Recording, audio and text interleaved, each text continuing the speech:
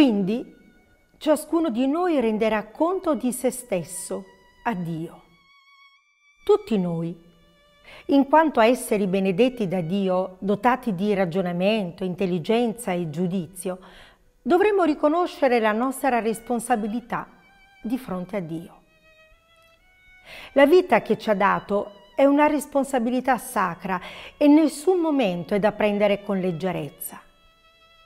Non solo saremo responsabili per quello che facciamo, ma anche per quello che abbiamo tralasciato di fare.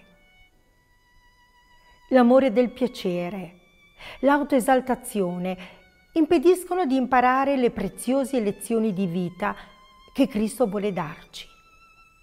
Il dovere del cristiano non è quello di modellarsi in base all'ambiente e alle circostanze, ma vivere al di sopra di questi fattori, formando il suo carattere a secondo del modello divino.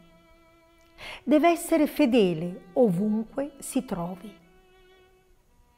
Se abitate in Cristo, non sarete maleducati, disonesti o sleali.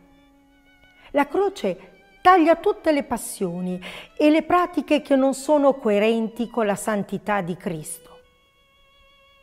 Qualunque sia la natura del vostro lavoro, fate vostri i principi di Cristo e identificatevi con il compito che Egli vi ha affidato. Il nostro interesse sarà lo stesso del nostro datore di lavoro il tempo per cui siamo pagati non è nostro, ma appartiene a Lui. Se lavoriamo male, se siamo distratti, se perdiamo tempo, saremo registrati nei libri come servi infedeli. Buona giornata.